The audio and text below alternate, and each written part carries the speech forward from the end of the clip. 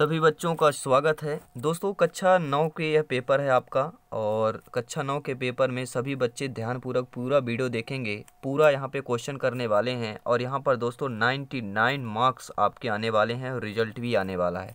तो चाहिए social science यानी कि सामाजिक विज्ञान का पूरा पेपर सभी लोग अपना उत्तर पुस्तिका ले लें और क्वेश्चन पेपर उसको जो है आपका पेपर उसको सामने रखें और क्वेश्चन मिलाते चलें और आंसर लिखते चलें। चलिए तो पहला प्रश्न देखिएगा, आपके दिया गया है। सही विकल्प में देखिए, पहला प्रश्न। कर्क रेखा निम्न में से किस राज्य से होकर गुजरती है? तो आपको कहाँ लिखना मध्य प्रदेश राज्य से होकर गुजरती है। पहला मध्य प्रदेश लिख लीजिए। क्षेत्रफल की दृष्टि से सबसे अधिक वन किस राज्य में पाए जाते हैं? तो मिजोरम में पाए जाते हैं। क्षेत्रफल की दृष्टि से। और हिटलर इनमें से किस देश को विश्व का शक्तिशाली देश बनाना चाहता था? तो हम बात कर रहे हैं जर्मनी की बात कर रहे हैं। लोकतांत्रिक व्यवस्था में शासकों को भी पालन करना पड़ता है, कानून को पालन करना पड़ता है। इनमें से कौन से क्रियाकलाप प्राथमिक क्षेत्र में शामिल नहीं है तो परिवहन। ठीक है, आपके पाँचों लिख लिया। पहला क्या है आपका होगा सही विकल्प? मध्य प्रदेश, दूसरा का मिजोरम, तीसरा का जर्मनी, चौथा का कानून का, पांचवा होगा परिवहन। अब चलते हैं दूसरे प्रश्न पर। दूसरे प्रश्न पर आपका दिया गया रिक्त स्थान देखिए। रिक्त स्थान में पहला, भारत में खारे पानी की सबसे बड़ी झील कौन है? तो आपको चिल्का करना है। दूसरा देखिए, नर्मदा नदी का उद्गम स्थल कौन सा होगा? अमरकंटक कहलाएगा। ठीक है, तीसरा विश्व में सर्वाधिक वर्षा वाला स्थान, मौसमपुर आपको करना है। चौथा है, गौरव ने किसका शासन अपने हाथों में लिया गया था? तो दक्षिण अफ्रीका का। पाँचों में देखिए, भारत में संसद के सदन होते कितने? तो भारत में दो होते हैं। सदन होते हैं। एक उच्च सदन होता है, एक निम्न सदन होता है। ठीक है? चलिए, अब आपका प्रश्न क्रमांक तीसरे पर आइए, जो आपका एक वाक्य या एक शब्द में उत्तर देना है। पहला देखिए, क्या है? एक स्थलीय भाग जो तीन ओर से समुद्र से घिरा हो, उसे क्या कहते हैं? तो उसे प्रायद्वीप कहते हैं। दूसरा देखिए, किस नदी को दक्षिण भारत की गंगा के नाम से जाना जाता है? तो गोदावरी नदी को जाना जाता है। रूस की संसद का नाम क्या है? तो रूस की संसद का नाम क्या है यहाँ पर? तो लिखा हुआ ड्यूमा ठीक है? अब चौथा देखिए, भारत के वर्तमान राष्ट्रपति का नाम क्या? तो सभी लोग जानते हैं, महामहिम डॉक्टर रामनाथ कोविंद। सभी लोग लिखेंगे। डॉक्टर महामहिम डॉक्टर रामनाथ कोविंद, हमारे भारत देश के वर्तमान राष्ट्रपति हैं। पांचवा में लिखिए, भारत के निर्धनता रेखा आकलन का सर्वेक्षण किस संगठन द्वारा किया जाता है? तो आप देखिए, नॉर्मल पे एन एस एस ओ भी लिख सकते हैं। ये इसका पूरा नाम भी लिख सकते हैं। राष्ट्रीय प्रतिदर्श सर्वेक्षण संगठन। एक बार रिपीट करूँगा। क्या है? एन डबल एस ओ या लिख सकते हैं, राष्ट्रीय प्रतिदर्श सर्वेक्षण संगठन। आइए देखते हैं चौथे प्रश्न पर। चौथा आपका प्रश्न दिया हुआ है सत्य सत्य पे चलेंगे। पहला प्रश्न देखिए। दक्षिण का पठार एक त्रिभुजाकार भूभाग है। बिल्कुल सत्य दिया गया है। दूसरा है, कॉल मॉक्स द्वारा लिखी गई पुस्तक दास कैपिटल है। बिल्कुल हाँ ये दास कैपिटल जो पुस्तक है, कॉल्स मॉक्स के द्वारा लिखा गया था, दूसरा भी सत्य है। तीसरा है रंग भेद नस्ली भेदभाव पर आधारित व्यवस्था का नाम बिल्कुल सही है, सत्य हो जाएगा। बिहार और उड़ीसा भारत के दो सर्वाधिक निर्धन राज्य हैं, बिल्कुल सही बात है। आपका चौथा भी सत्य है और रोज़गार गारंटी अधिनियम कार्यक्रम वर्ष 2004 में शुरू किया गया यह आपका असत्य दिया गया है। तो देखिए, सत्य सत्य में एक से लेकर चार तक सत्य है और पाँचवा आपका असत्य है। तो ऑब्जेक्टिव में आपने अभी तक बीस के बीस आपके कन्फर्म हुए, अब देखिए पाँचवा। पाँचवा आपको सही मिला, सही जोड़ी का मिलाना है। तो सही जोड़ी का मिलाप करिए, पहला क्या होगा? मानसून। मानसून में आपको क्या लिखना है? अरबी शब्द लिखना है। मानसून कैसा शब्द है? अरबी शब्द आएगा। नांगफनी। नांगफी नांगफनी में क्या लिखेंगे? कटीले वन का कहलाएगा। तीसरा लिखिए, वर्षाए की संधि। वर्षाए की संधि कब हुई थी? 1919 में हुई थी। चौथा लिखिए, डाक संविधान की प्रारूप समिति के अध्यक्ष कौन है? तो डॉक्टर भीमराव अंबेडकर जी हैं। भारत के मुख्य न्यायाधीश की नियुक्ति कौन करता है? तो राष्ट्रपति के द्वारा होता है। तो ये आपके पाँच हुए। पच्चीस में पच्चीस नंबर आपके क्लियर हुए।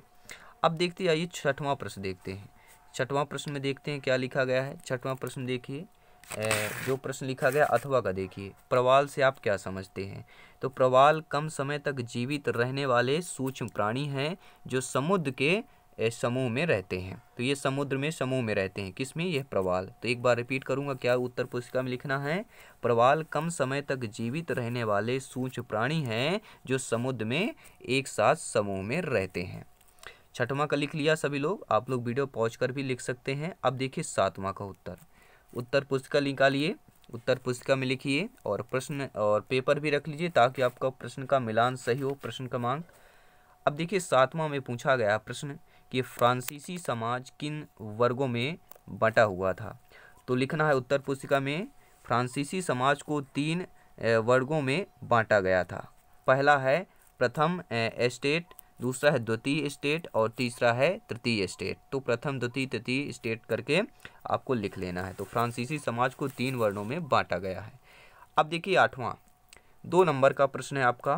प्रश्न क्रमांक आठ, देखिए क्या पूछा जा रहा है। मित्र राष्ट्रों में शामिल देशों के नाम है। यहाँ पे मिस्र होना चाहिए, ठीक है? मिस्र राष्ट्रों में शामिल देशों का नाम।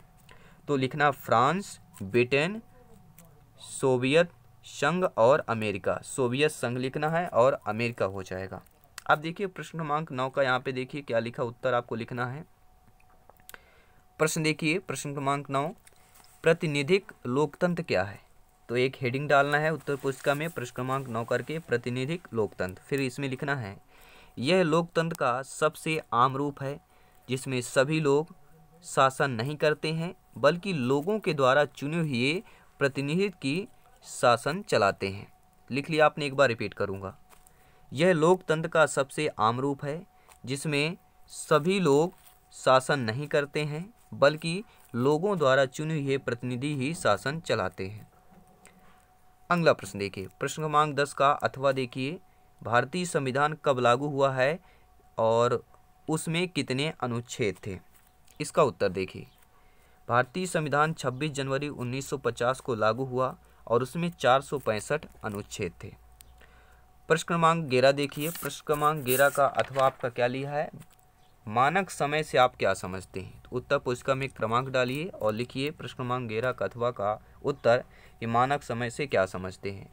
भारत का देशांतर विस्तार 68 डिग्री सेवन पूर्व से संतानवे डिग्री 25 पूर्वी देशांतर के मध्य लगभग 30 डिग्री स्थित है। इतना अधिक देशांतर विस्तार भारत के पूर्वी और पश्चिमी भाग में दो घंटे का समयांतर उत्पन्न करता है। संपूर्ण भारत के लिए एक समय जोन निर्धारित करने के लिए भारत के मध्य देशांतर रेखा बयासी डिग्री थर्टी पूर्वी। पूर्वी देशांतर क्या। लिखना है बयासी डिग्री थर्टी पूर्वी देशांतर रेखा को भारत का मानक यामनोत्तर निर्धारित किया गया है। तो आप लोग वीडियो पहुँच कर भी आप पूरा लिख सकते हैं एक एक शब्द देखकर। अब हम चलेंगे अगले प्रश्न पर। प्रश्न क्रमांक बारह का उत्तर देखना है अथवा में, तमिलनाडु में शीत ऋतु में वर्षा क्यों होती है? तो शीत ऋतु में उत्तर पश्चिमी भारतीय क्षेत्र में कम ताप के कारण अधिक वायुदाब के केंद्र बनने से हवाएँ दक्षिण पूर्वी की ओर चलती हैं। जब ये बंगाल की खाड़ी के ऊपर से चलती हैं तो जो नदी के धारक और तमिलनाडु में शीतकाल में वर्षा होती है। तभी क्या होता है?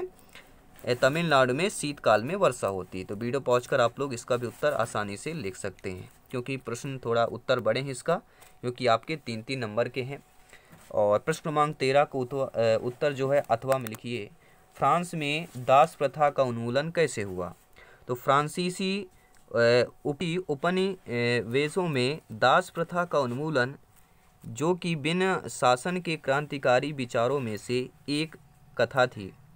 अठारहवीं सदी में फ्रांस में दास प्रथा मुक्त हेतु नेशनल असेंबली लंबी बहस हुई। नेशनल असेंबली जो होती है उसमें बहस हुई, परंतु दास व्यापार पर निर्भर व्यापारियों के विरोधी के भय में नेशनल असेंबली में कोई कानून पारित नहीं किया गया। उन्नीस सौ सत्रह ईस्वी में कन्वेशन ने फ्रांसीसी उपनिवेशों में सभी दासों की मुक्ति का कानून पारित कर दिया है, परंतु यह कानून ज़्यादा दिन लागू नहीं रह पाया। दस वर्ष पश्चात नेपोलियन ने दास प्रथा पुनः शुरू कर दी गई थी। तो इतना आपको लिख लेना है। वीडियो पॉज कर लीजिए आप लोग आसानी से लिख सकते हैं। अब देखिए प्रश्न क्रमांक फोर्टीन चौदह देखिए। चौदह प्रश्न क्या है? कुलक शब्द को परिभाषित करना है। तो कुलक रूस में संपन्न किसानों को कुलक बड़ा ए, कहा जाता है। कुलक कहा जाता था। एक बार रिपीट करूँगा। कुलक रूस में संपन्न किसानों को कुलक कहा जाता था।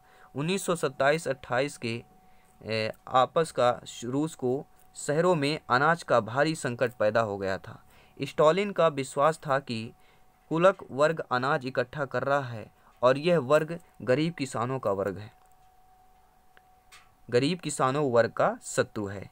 अतः 1928 में स्टालिन की पार्टी की सदस्यों ने कुलकों के ठिकानों पर छापे मारे एवं जबरन अनाज खरीदा जब इसके बाद भी अनाज की कमी बनी रही तो स्टालिन ने कुलकों का सफाया करने के उद्देश्य से खेतों के सामूहिकरण करने का फैसला किया और सरकार द्वारा नियंत्रित बड़े खेतों की क्या है? स्थापना हुई।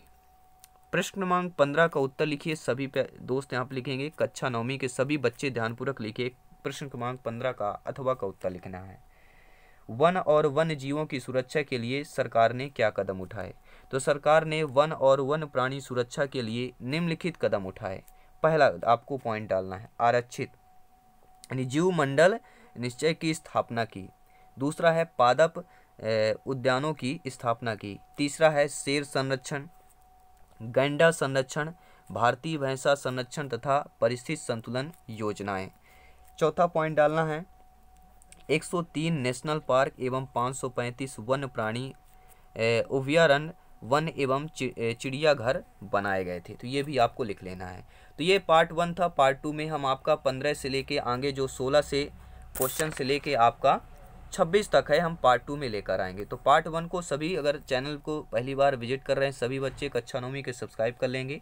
वीडियो लाइक करें ताकि अगला पार्ट आएगा तो आपको आसानी से मिल जाएगा। तो सभी बच्चे लिखें, ध्यानपूर्वक लिखें और नब्बे परसेंट नहीं, यहाँ पे नाइन्टी नाइन प्रतिशत आपको मिलेगा तो फिर आपको खुशी होगी। तो वीडियो लाइक और सभी बच्चों को शेयर करें ताकि सभी बच्चे आसानी से उत्तर लिख सकें।